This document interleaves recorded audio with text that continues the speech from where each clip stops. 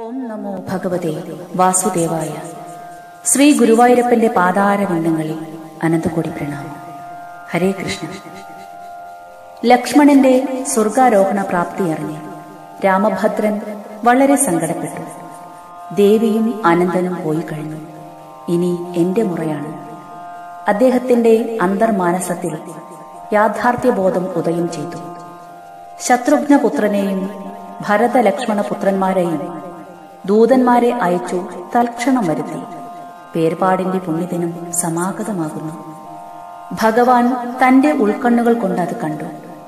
ഒരു ദിവസം അദ്ദേഹം കുലാചാര്യനെയും അമാത്യന്മാരെയും സേനാപതികളെയും പൗരാവലികളെയും വിളിച്ചു വരുത്തി ശാന്തമായി പറഞ്ഞു.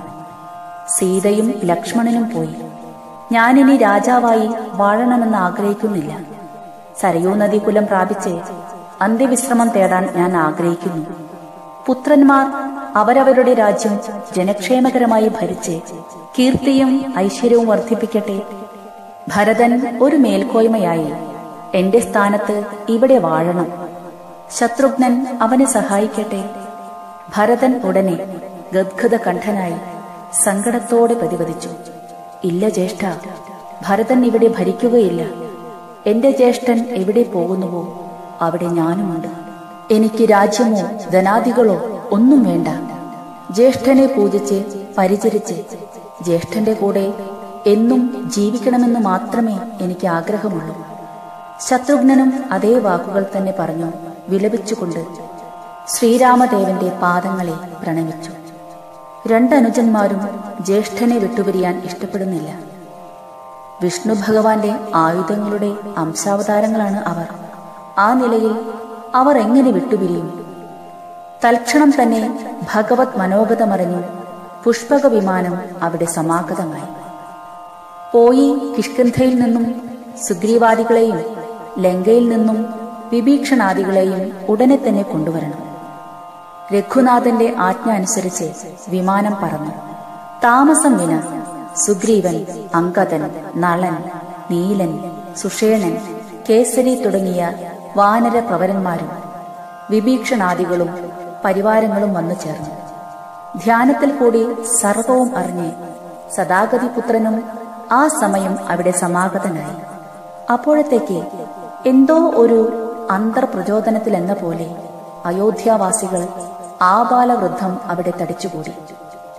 ശ്രീരാമദേവൻ എല്ലാവരും കേൾക്കെ ശാന്തമധുരമായ സ്വരത്തിൽ നിവദിച്ചു നിങ്ങൾ ഏവർക്കും മംഗളമുണ്ടാകട്ടെ. നിങ്ങൾ സന്തോഷമായി ജീവിക്കുക. ഞാൻ സ്ഥാപിച്ച രാമരാജ്യം എന്നും അക്ഷയാഭാസോടെ രാമരാജ്യമായി പരിലസിക്കുന്നതിനു നിങ്ങൾ പരിശ്രമിക്കണം. ജനകാത്മജയും സുമിത്രാത്മജനും വിണ്ണവർ ലോകം പോകി. ഞാനും നിങ്ങളോട് അന്തിമയാത്ര പറയുകയാണ്. നിങ്ങളുടെ ആഗ്രഹം എന്താണെന്ന് തുറന്നെല്ലാവരും പറയൂ. ഞാനത് സാധിച്ചു തരാം. പ്രഭു അടിയങ്ങൾക്ക് ആഗ്രഹമൊന്നുമില്ല. അങ്ങ് എവിടെ എഴുന്നള്ളുന്നുവോ അവിടെ അടിയങ്ങളെയും കൊണ്ടുപോകണം. ജനാവലികളുടെ ഇടയിൽ നിന്നും മുഴങ്ങിക്കേട്ട ഏക ശബ്ദം അതായിരുന്നു. ശ്രീരാമദേവൻ പറഞ്ഞു ശരി ആഗ്രഹമുള്ളവർ എന്നോട് കൂടി പോരുക. വസിഷ്ഠനും അതിനോട് അനുകൂലിച്ചു. വിഭീക്ഷണൻ തൊഴുതുകൊണ്ട് പറഞ്ഞു സ്വാമി ദയാനിധി അടിയനെയും കൂടി അങ്ങയെ അനുഗമിക്കാൻ അനുവദിക്കണം. അതെങ്ങനെ സാധിക്കും? അങ്ങ് എന്നും തികഞ്ഞ വിഷ്ണുഭക്തനായി രാജ്യം ഭരിച്ചു വാഴുക. അതുപോലെ ഹനുമാനും ചിരഞ്ജീവിയാണ്. അവനും രാമനാമം ഭൂതലത്തിൽ നിന്നും വിസ്മൃതമാകുന്നതുവരെ ഈ ഭൂമിയിൽ വാഴേണ്ടവനാണ്. ബാക്കിയുള്ളവർ എല്ലാവരും എന്റെ കൂടെ പോരട്ടെ. അതിനുശേഷം തന്റെ സ്വന്തം പുത്രന്മാരെയും അനുജന്മാരുടെ പുത്രന്മാരെയും പിടിച്ചു മടിയിലിരുത്തി താലോലിച്ച് വേണ്ട അനുഗ്രഹങ്ങളും നൽകി രാജധർമ്മങ്ങൾ ഉപദേശിച്ചു. ഒടുവിൽ ലവകുശന്മാരോട് പ്രത്യേകം പറഞ്ഞു മക്കളെ അച്ഛൻ നിങ്ങളെ വിട്ടുപിരിയുകയാണ്. സങ്കടപ്പെടരുത്. ജനക്ഷേമകരമായി നിങ്ങൾ രാജ്യം ഭരിക്കണം. പ്രജകൾക്കോ യാതൊരു ഉപദ്രവവും ഉണ്ടാക്കരുത്. സൂര്യവംശത്തിൽ പിറന്നവരാണെന്നും സീതാരാമപുത്രന്മാരാണെന്നും നിങ്ങൾ എപ്പോഴും ഓർമ്മിക്കണം. അച്ഛന്റെ ഓർമ്മയ്ക്കായി ഇളയച്ചനായ ഭരതൻ പൂജിച്ച പാതുകങ്ങളെയും അമ്മയുടെ ഓർമ്മയ്ക്കായി അച്ഛൻ പൂജിച്ചുകൊണ്ടിരുന്ന സീതയുടെ സ്വർണവിഗ്രഹത്തെയും നിങ്ങൾ എന്നാളും സൂക്ഷിക്കണം. സാക്ഷാൽ അമ്മയാണെന്നുള്ള സങ്കല്പത്തോടെ ആ കാഞ്ചന പ്രതിമയെ നിങ്ങൾ പൂജിക്കണം. ഉത്തര ദക്ഷിണ കോസലങ്ങളിലെ രാജാക്കന്മാരാണോ നിങ്ങളെങ്കിലും നിങ്ങൾ ഒന്നിച്ചു വേണം താമസിക്കുവാൻ. എന്തുകൊണ്ടെന്നാൽ നിങ്ങൾ ഇരട്ട പെറ്റവരാണ്. അകന്നു താമസിച്ചാൽ നിങ്ങളുടെ ശക്തി കുറയും. പിന്നീട് എല്ലാവരും യാത്രയും ചൊല്ലി പിതാവിനെയും പൂർവികന്മാരെയും മാതാക്കളെയും ധ്യാനിച്ച് രാമചന്ദ്രൻ ഗോപുരത്തിനു വെളിയിൽ കടന്നു. അന്നു രാത്രി എല്ലാവരും അവിടെ കഴിഞ്ഞുകൂടി. അടുത്ത ദിവസം അരുണോദയത്തിൽ നിത്യകർമാദികൾ കഴിഞ്ഞ് വംശദേവനായ സൂര്യനെ വന്ദിച്ച് കുലഗുരു വസിഷ്ഠനെയും നമസ്കരിച്ച് അദ്ദേഹത്തോട് വഹിനി വാങ്ങുവാൻ പുരോഹിതന്മാരോട് ആജ്ഞാപിച്ചു. അനന്തരം യഥാവിധി പൂജകളും പ്രാർത്ഥനകളും നടത്തി. രാജകൊട്ടാരത്തിന് അന്തിമാഭിവാദനം നൽകി. അവസാന യാത്രയിൽ ചൊല്ലി. ജഗന്മയനായ രാമഭദ്രൻ മായാമാനുഷനായി മഹാപ്രസ്ഥാനത്തിന് പുറപ്പെട്ടു. വഹ്നിയും വഹിച്ചു പുരോഹിതന്മാർ മുമ്പേ നടന്നു.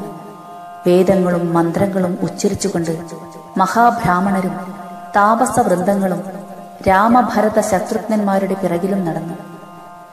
രാജപത്നികളും അന്തപുര സ്ത്രീകളും പരിചാരികമാരും അമാത്യന്മാരും സേനാപതികളും ഉദ്യോഗസ്ഥന്മാരും അവരുടെ ബന്ധുമിത്രാദികളും അയോധ്യയിലെ രാമഭക്തന്മാരായ ആബാലവൃദ്ധം സ്ത്രീ പുരുഷന്മാരും സുഗ്രീവാദി വാനരന്മാരഖിലവും വിവീക്ഷണാദി രക്ഷോവരന്മാരും ഗുഹാദി നിഷാദ ഭക്ത സമൂഹവും പശുക്കളും പറവകളും മൃഗങ്ങളും രക്ഷിതാവായ രാമദേവനെ ഭക്തിപൂർവം അനുധാവനം ചെയ്തു. വഴിനീളെ സർവമാന പേരും രാമം രാമം ശ്രീരാമം. ദണ്ഡം ദണ്ഡം കോദണ്ഡം. സീതാറാം സീതാറാം. രാമം രാമം സീതാറാം എന്നു വാഴ്ത്തി പാടിക്കൊണ്ട് ആ സംഘത്തിൽ ചേർന്നു. സർവവും രാമമയം. ഒടുവിൽ എല്ലാവരും സരയൂ നദി തീരത്തെത്തി ലക്ഷ്മണൻ സമാധിയടഞ്ഞ പുണ്യസ്ഥലികയിൽ രാമ ഭരത ശത്രുഘ്നന്മാരും ഊർമിളയും തർപ്പണാദി അന്ത്യോപചാര കർമ്മങ്ങൾ നടത്തി. രാമമന്ത്രധ്വനി അന്തരീക്ഷമാകെ ഭേദിക്കുമാറ് മുഴങ്ങിക്കൊണ്ടിരുന്നു. രാമഭദ്രൻ മാരിവില്ലു മാറിൽ അലങ്കരിച്ചു നിന്ന പശ്ചിമാകാരം ലക്ഷ്യമാക്കി പുണ്യവൈകുണ്ഠത്തെ ദർശിച്ചു. ആകെ ഒരു ദിവ്യപ്രകാശം ആകാശത്തിൽ പരന്നു. സരയൂ നദിയുടെ മുകൾ ഭാഗത്ത് ഗരുഢവാഹനം പ്രത്യക്ഷപ്പെട്ടു. ജലോപരി വാനവർ അർപ്പിച്ച കൽപ്പദ്രുമജാലങ്ങൾ വിളങ്ങി. നാരദ തുമ്പുരു ഗന്ധർവ കിംപുരുഷന്മാർ ദേവവാദ്യം മുഴക്കി. അഖില ലോകനായകനായ ഭഗവാൻ ശ്രീരാമചന്ദ്രൻ തന്റെ അവതാര നാടകത്തിലെ അന്തിമരംഗം അഭിനയിക്കാൻ ആരംഭിച്ചു. പ്രപഞ്ചം നിശ്ചലമായി. ശ്രീ രഘുപതി അഞ്ജലിബന്ധനായി അരവിന്ദ നയനങ്ങൾ നിമീലനം ചെയ്തു.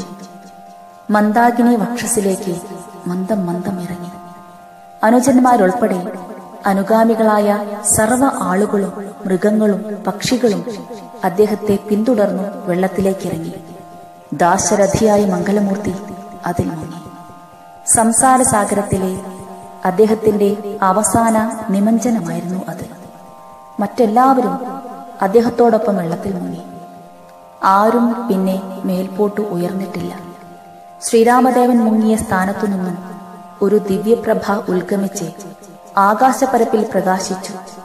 പക്ഷീന്ദ്ര വാഹനവും അറിഞ്ഞു. മഹേന്ദ്രാദി അമരന്മാർ ഇമവിടാതെ അപ്പോഴും പൂമാലികൾ ചൊരിഞ്ഞു. രാമചന്ദ്രനും അവരജന്മാരും വൈകുണ്ഠം പോകി വിഷ്ണുവിൽ വിലയം പ്രാപിച്ചു. കൂടെ മുങ്ങിയ രാമഭക്തന്മാർ സ്വർഗലോകം പോകി സായൂജ പദവും നേടി.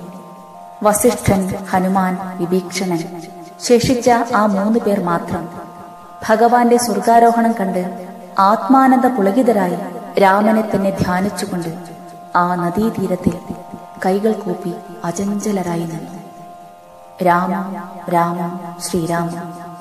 ദണ്ഡം ദണ്ഡം കോദണ്ഡം. സീതാറാം സീതാറാം. രാമ രാമ ശ്രീരാമം.